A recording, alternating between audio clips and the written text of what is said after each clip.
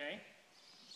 In this case, you need to, that's what you need to do to teach your horses to change leads, to pick up the correct lead, and that is the position they need to start understanding in your approach to a barrel and your exit of a barrel.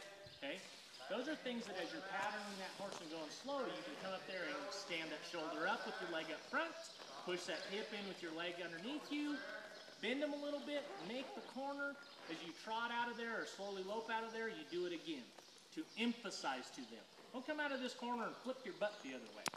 Stay over here. Does that make sense? Okay? All right. so to do that, the important thing here, did all of you see that when I did that, my horse's shoulders kept walking straight forward? Okay? So,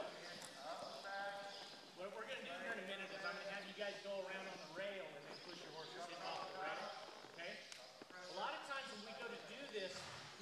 people Magna. ask that hip to move over and they move too much sideways. See how my horse is crossing over now?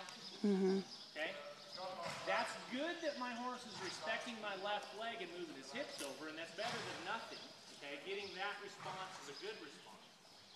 But to do a correct haunches in, what I would rather see happen is my front feet are walking forward. I'm going to ask that hips to step over there. See how his front feet are still walking forward? No longer do I have that crossover. Does everybody see that difference? Okay?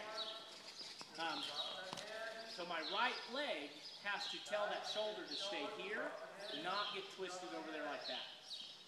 Right